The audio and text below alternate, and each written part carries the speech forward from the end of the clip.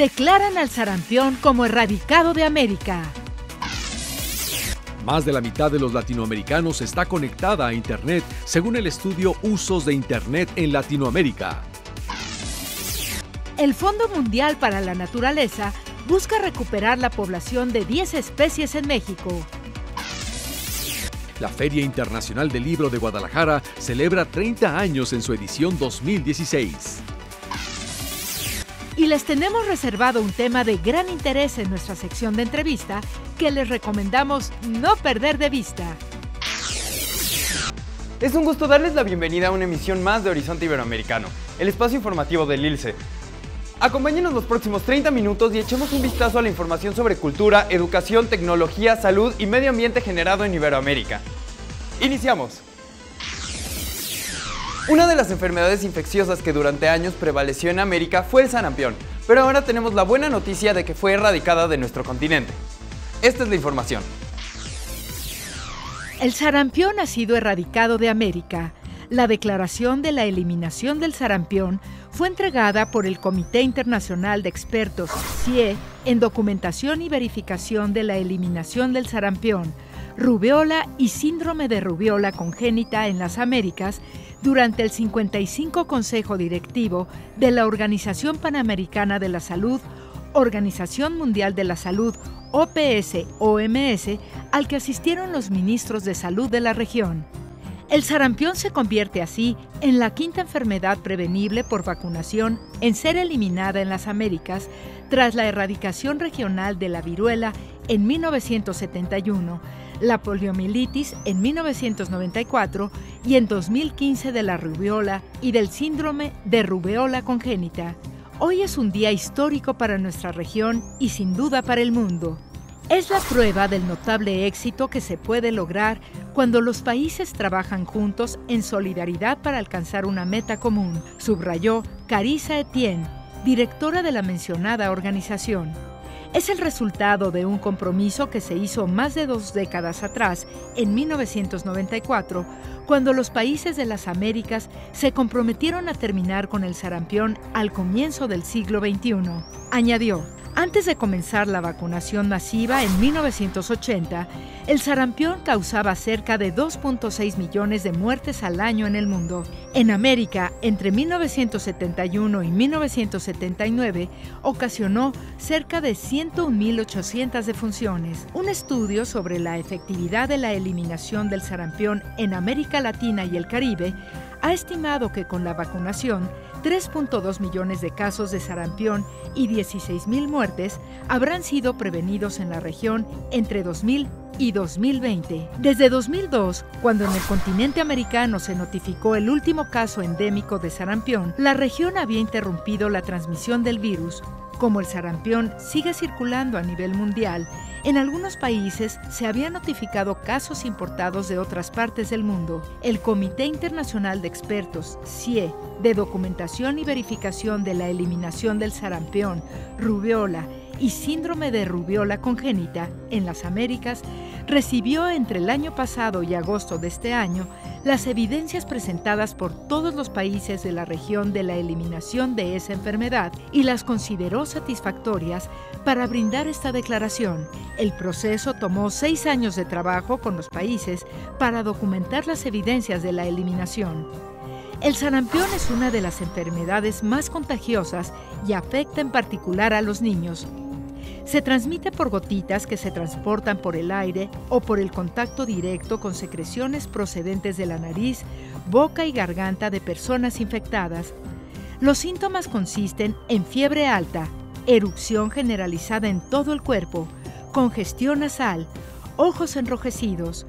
Puede causar complicaciones graves tales como ceguera, encefalitis, diarrea intensa, infecciones del oído y neumonía, sobre todo en niños con problemas de nutrición y pacientes inmunodeprimidos. Como resultado de los esfuerzos de eliminación global del sarampión, en 2015 solo se reportaron 244.704 casos a nivel mundial, lo que significó un descenso importante respecto a años anteriores. Sin embargo, más de la mitad se registraron en África y Asia. Para mantener la eliminación del sarampión, la OPS, OMS y el Comité Internacional de Expertos para la Eliminación del Sarampión y la Rubiola ha recomendado a todos los países de las Américas que fortalezcan la vigilancia activa y mantengan la inmunidad de su población a través de la vacunación. Quisiera destacar que nuestro trabajo en este frente aún no termina. No podemos caer en la complacencia con este logro, sino que más bien debemos protegerlo cuidadosamente, advirtió Etienne. El sarampión sigue circulando ampliamente en otras partes del mundo, por lo que debemos estar preparados para responder a los casos importados. Es fundamental que sigamos manteniendo las altas tasas de cobertura de vacunación y es crucial que los casos sospechosos de sarampión sean reportados de inmediato a las autoridades para que le hagan seguimiento, añadió. La estrategia de eliminación de la OPS-OMS para terminar con el sarampión se basó en tres pasos. 1. Hacer por única vez una campaña nacional para ponerse al día con la vacuna contra el sarampión dirigida a niños entre 1 y 14 años. 2. Fortalecer la vacunación de rutina para alcanzar un mínimo de 95% de los niños cada año. 3. Hacer campañas masivas de seguimiento cada cuatro años con el fin de vacunar a un mínimo del 95% de los niños de 1 a 4 años con una segunda dosis de vacuna. Tras declarar la eliminación de la rubiola y el síndrome de rubiola congénita en 2015, el Comité Internacional de Expertos esperó a que se presentaran las evidencias de la interrupción de un brote de sarampión en Brasil que había comenzado en 2013 y duró más de un año. Después de un año de acciones dirigidas y extrema vigilancia, el último caso de sarampión en Brasil fue registrado en julio de 2015. ¿Qué tanto usamos Internet en Latinoamérica? Una reciente investigación encabezada por un especialista venezolano nos tiene la respuesta en la siguiente nota que veremos.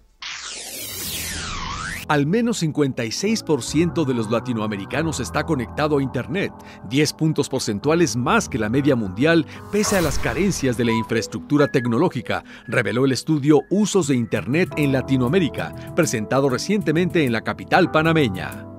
La investigación, con un margen de error inferior al 2.5%, según dijo su director, el venezolano Carlos Jiménez, se alimentó de 5.000 encuestas en 15 países, que representan una muestra del 98% de la población, pero advirtió no se debe generalizar.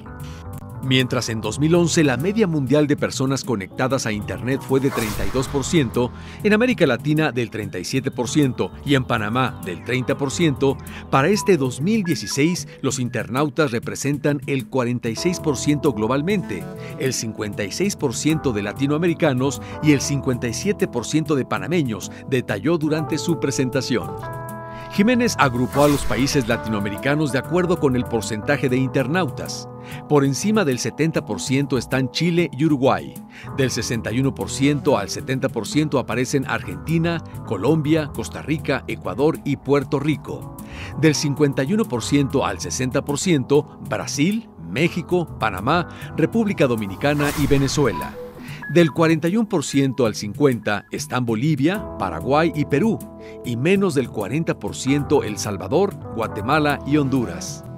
Explicó que el avance comparado por país se dispara por la brecha digital existente aún, que ahora se fundamenta en las limitaciones que hay para el acceso a la banda ancha por la poca penetración de la fibra óptica, no porque haya o no Internet o las personas desconozcan su existencia. Aunque su énfasis fue explicar la importancia del conocimiento que las empresas deben tener de sus audiencias para poder proyectar su negocio, Jiménez advirtió que no se pueden ignorar los medios tradicionales, porque tienen su espacio y peso importante y coexisten con los medios digitales. La televisión sigue siendo el gran medio admitió, y en América Latina se prefiere ir al punto de venta todavía, antes que adquirir vía comercio electrónico un artículo. Sostuvo que el comercio electrónico crece, la bancarización crece, pero los que compran lo hacen por la portátil y la información la buscan por medios tradicionales. Los medios móviles se usan para lo social, para compartir. Para el experto en economía y en mercadotecnia, el estudio de los usuarios en redes requiere de la segmentación del público en cada plataforma, porque tienen códigos de comunicación diferentes. No es lo mismo Facebook que Snapchat, ni Twitter que Instagram, aclaró. Lo peor es comunicarse sin conocer las audiencias, lo cual deviene en una pérdida de recursos porque los mensajes no van a captar su atención. En la región también hace falta que las compañías interactúen, aún no se comunican con sus clientes y ellos quieren eso, que les presten atención, dijo Jiménez. No hay que generalizar. Internet son muchísimas cosas. Y cuidado, también entre los social media hay diferencias. Expresó y dio su testimonio de cómo descubrió que comunicarse con su hija menor por mensajes de texto no era lo correcto, sino a través de fotos, símbolos o iconos. En Latinoamérica, el 84% de los internautas usa el correo electrónico, el 83% las redes sociales, 73% para leer noticias, 57% en operaciones bancarias, 62% para chatear, 62% para ver video, 57% para buscar información sobre trabajo, un 56% para presentar solicitudes de trabajo, 54% para publicar fotos y 52% para buscar información de productos. Como las audiencias están fragmentadas casi a nivel individual, el desvelo de las empresas es encontrar la manera de generar experiencias con el consumidor, comentó. Graciela Iturbide lleva una larga y reconocida trayectoria como fotógrafa, enfocada en el retrato de nuestras raíces culturales.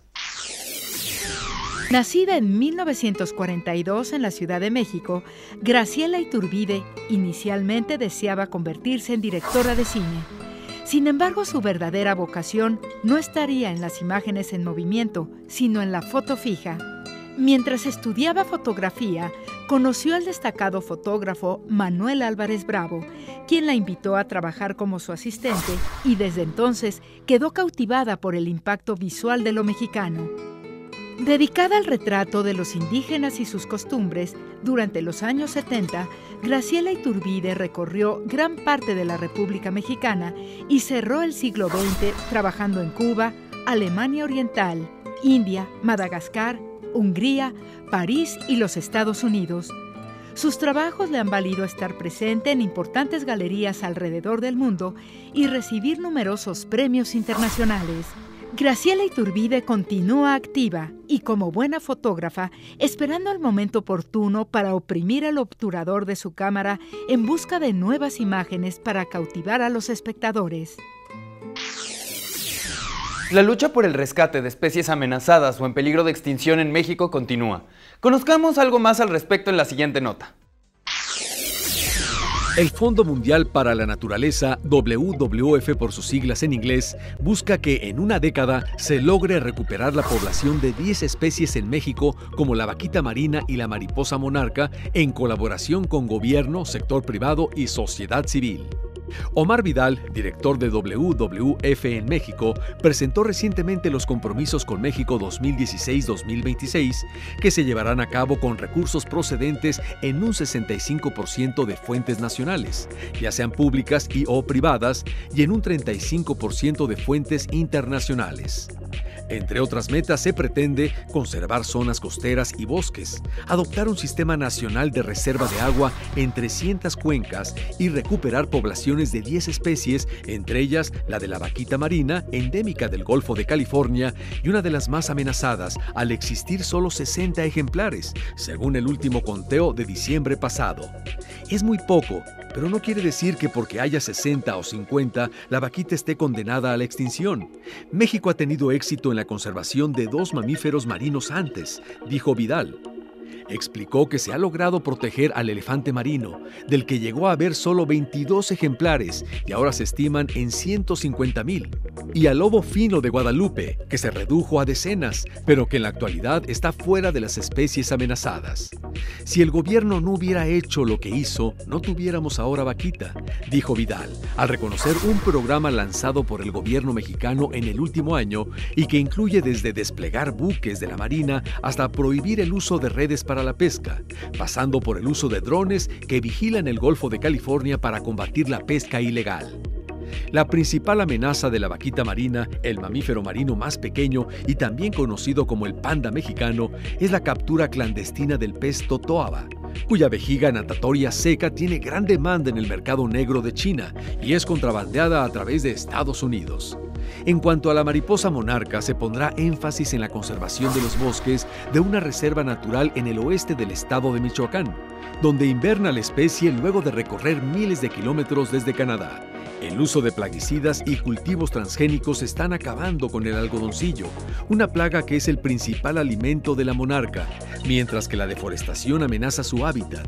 Según cifras oficiales, en la temporada pasada se consiguió reducir en 40% la tala clandestina en la reserva, pero ha continuado la degradación de la zona, que sigue siendo afectada por fenómenos climáticos cada vez más intensos.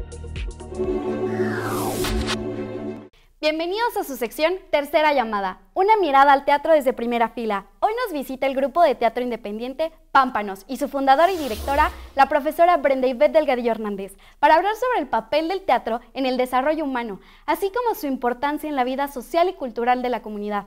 Grupo Pámpanos se formó hace ocho años, tiempo en el que han presentado diversos montajes, pero en esta ocasión, en especial, hablaremos de aquellos de contenido social, que tratan temas como bullying, relaciones de padres e hijos, adicciones, relaciones familiares, jóvenes y violencia. Bienvenidos y gracias por acompañarnos. ¿De qué manera ayuda el teatro a abordar problemáticas que a menudo son consideradas tabú dentro de la familia e incluso la sociedad? Bueno, ah, muchas veces cuando es un tema muy difícil de tratar, cuando lo ves escenificado, es más fácil que puedas aceptarlo y poder tener esa interacción con los personajes. También hablamos de la identificación. Te puedes identificar o no con un personaje. Y eso muchas veces se nos queda más en la mente que leer o, alguna otra actividad. Respecto al desarrollo intelectual, ¿qué destrezas refuerza el hecho de participar en una puesta en escena?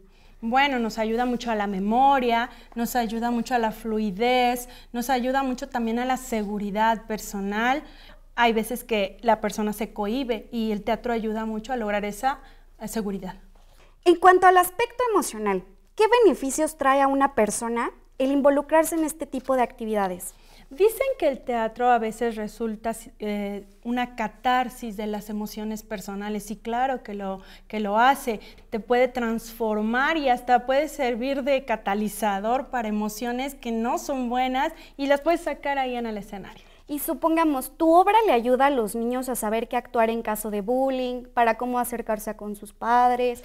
O sea, tus obras, que, ¿cómo se enfocan en enseñarle al público lo que tú quieres transmitir? Claro. ¿Qué pasaría si tú fueses testigo, si lo padeces, o qué harías en dado caso que tú fueras el que golpea. Claro, porque muchas veces no lo saben. Así no saben que ellos son Creen que es un juego o creen que así se llevan y no son las cosas así. Muy interesante este tema. Eh, independientemente del tema que se aborde, ¿qué valores humanos y sociales se refuerzan cuando se trabaja en equipo para un montaje?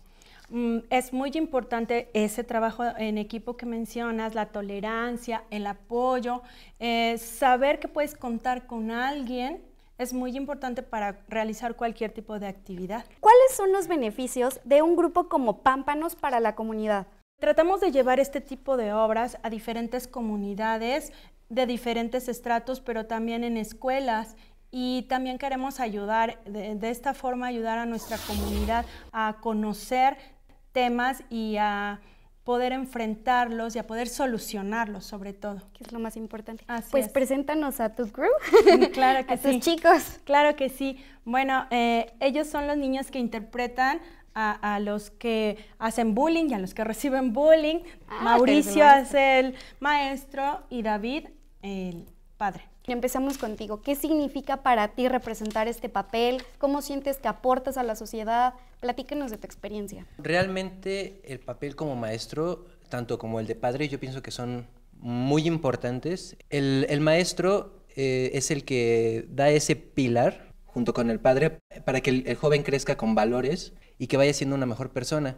Y de este lado el padre de familia, platícanos. Cuanto al tema de bullying, creo que los papás son demasiado fundamentales en cuanto a el apoyo y el destrozar o transformar a bien a su hijo. Y a ver, ahora pasémosle el micrófono a los chiquitos que tienen para platicarnos. ¿Cómo te llamas? Jaime. ¿Cuántos años tienes? Diez. ¿Qué significa para ti salir en estas obras?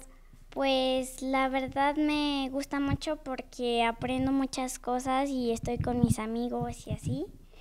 Y la verdad lo que estamos haciendo ahorita, lo del bullying, tienen que aprenderlo los niños que son malos con los otros. Y a ver de este lado, ¿a quién más tenemos? A Francisco, pero todos me dicen Paco. Hola Paco, ¿cuántos años tienes? Diez también. Y a ver, platícanos. Hay, hay muchos niños malos que pues le hacen bullying a, su, a, a los otros niños. Pues entonces para que no lo hagan. Yo soy la bulleadora, tengo nueve años y a los niños que hacen bullying les digo que no lo hagan porque es muy malo y hasta puede hacer que otros niños puedan morir. ¿Cómo te llamas? José Juan. Mi, mi personaje trata de que les, les ayudo a las niñas. Quiero decir a todos los niños que hacen bullying que no lo hagan porque destruyen vidas de a las demás personas. Ya para finalizar, una última pregunta. Sí. ¿Cuál es la mecánica que siguen como grupo para armar su agenda de presentaciones? Ah, bueno, la mayoría de los estudiantes de en Pámpanos, los participantes en Pámpanos son eh, estudiantes en, en horarios regulares, entonces tratamos de coordinar estos horarios para que también este tipo de obras podamos llevarlas a las escuelas. Y cada uno ofrece sus tiempos de, de corazón y de la mejor manera posible. Muchísimas gracias Brenda por haber estado aquí en Horizonte Iberoamericano. Nos encanta saber de estos proyectos. No sé si quieras agregar algo más. Pues solamente agradecerles este, esta oportunidad y decirles que nos pueden encontrar en redes sociales, en Facebook eh, como Escuela de Artes Pámpanos y también tenemos un correo, es teatro-pámpanos arroba yahoo.com.mx y ahí estamos para servirles.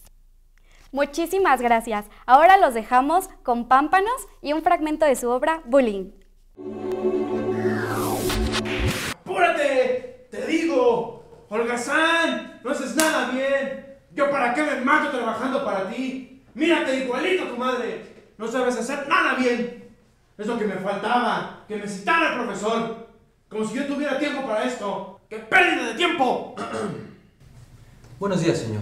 Profesor, Gracias por venir. Mire, para no quitarle tanto el tiempo. Es sobre su hijo. Es muy distraído y no presta atención en clases. Si no hacemos algo pronto, va a ser demasiado tarde para él. Ah, sí, sí. Y para esto me hace perder el tiempo. Mire, señor, yo solo quiero que me acompañe tantito a mi oficina. Por favor.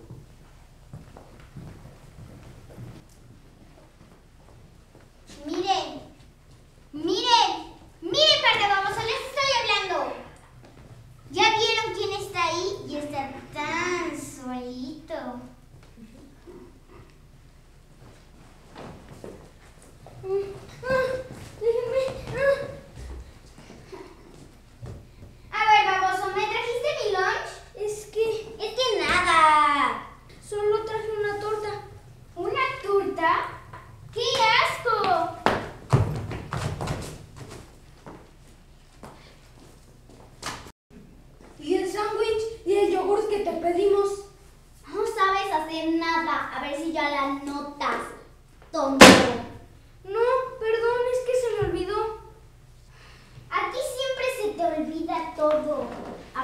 De que estás todo feo. ¿Y hueles? Ya déjenme. Nunca te vamos a dejar. Eres un inútil. Te lo mereces. No sabes hacer nada.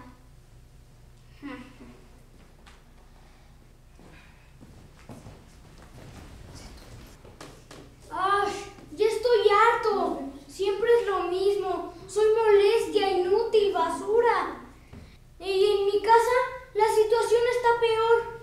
Mis papás se pelean todo el tiempo y ni caso me hacen. Aparte, si supieran, si supieran lo que pienso. No.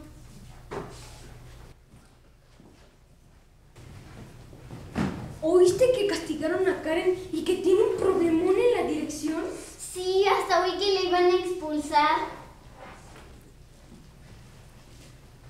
Uy, sentenciaron. Estoy que me lleva.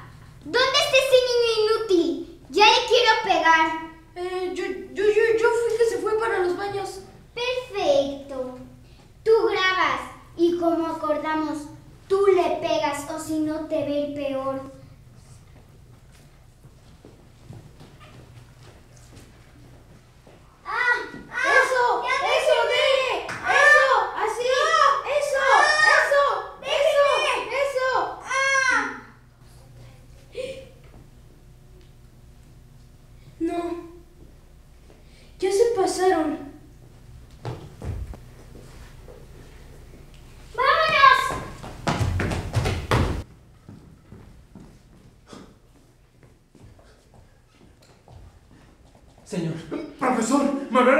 Oficina. Yo no tengo tiempo para estar viniendo a la escuela. Mire, señor, su hijo tuvo un accidente. ¿Accidente? Por favor. ¿Algo le pasó a mi hijo? No es tan grave, por favor, le pido me acompañe. ¿Y ahora qué va a pasar? ¿Cómo pude hacer esto? Tengo miedo. ¿Pero qué hemos hecho? Porque siempre me he de influenciar por esos dos niños. ¿Qué les voy a decir a mis papás? ¿Qué va a pasar? ¿Hasta dónde va a llegar esto? Estoy harta que mis padres y mis maestros digan que soy lo peor, que saben lo que siento y pienso. Ya no quiero vivir así. El bullying es un problema realmente grave. No es una moda o un juego. Es tan grave que muchos chicos y chicas han muerto por el acoso. Este puede ser de todo tipo, físico, verbal y cibernético. Si tú sufres o has sufrido bullying, debes hablarlo. Si tú no hablas, estás formando parte de la violencia. No te puedes quedar callado. Hay instituciones y programas que se dedican a dar seguimiento y solución a estos casos de violencia y acoso. Habla con tus padres, maestros y adultos de confianza. Basta del acoso. No seas parte de él. Denuncia. No estás solo. En México, uno de los eventos literarios y editoriales más importantes de habla hispana se alista en la ciudad de Guadalajara, Jalisco, para celebrar en grande tres décadas de vida. Estos son los detalles. Con América Latina como invitada de honor, la Feria Internacional del Libro FIL de Guadalajara cumplirá este año 30 ediciones y festejará en grande con la presentación de al menos 600 nuevos libros y la presencia de unos 650 autores provenientes de 44 países. Al anunciar el evento, su presidente Raúl Padilla confirmó que entre los autores que acudirán estarán presentes Mario Vargas Llosa, Norman Manea, Roberto Calazo, Antonio Gamoneda, Ernesto Cardenal, Nélida Piñón, Elena Poniatowska y María Negroni. También Luisa Valenzuela, Pierre Chatillón, Jorge Fernández Granados, Rosa Montero, Alonso Cueto, Fernando Iwasaki, Laura Restrepo, Leonardo Padura, Gioconda Bieli, Arturo Pérez Reverte, Santiago Roncagliolo, Manuel Rivas y Luis Rufato. La apertura será el próximo 26 de noviembre con la entrega del Premio Phil de Literatura en Lenguas Romance al rumano Norman Manea, quien también abrirá el Salón Literario como actividad inicial de los nueve días que la feria permanece abierta en Expo Guadalajara. El Nobel de Literatura, Mario Vargas Llosa, será la cabeza más visible de autores latinoamericanos y recibirá un homenaje por sus 80 años de vida. También se anunció que el escritor y editor italiano Roberto Calazo, reciente ganador del premio Formentor de las Letras, sostendrá un diálogo con Alberto Manguel y Basilio Baltasar.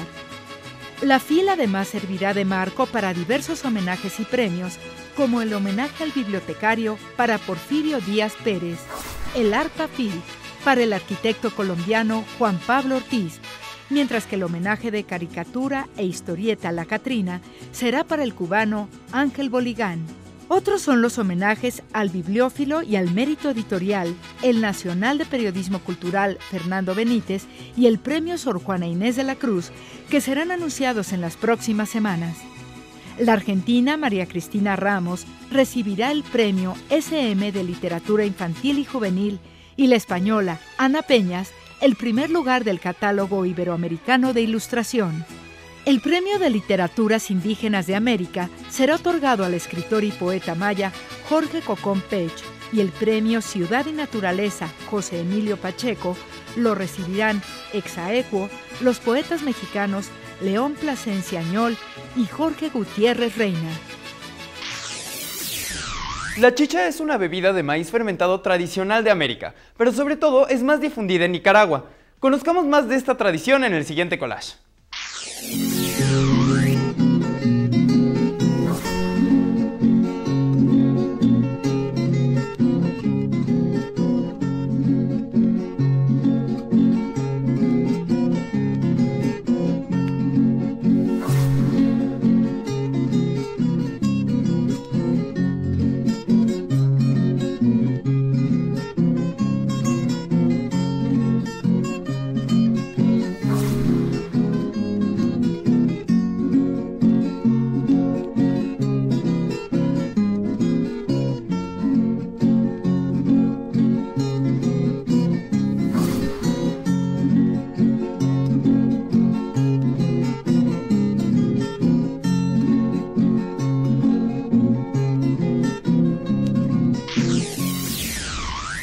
Tiempo se nos ha acabado y solo nos resta agradecer que hayan estado con nosotros en Horizonte Iberoamericano.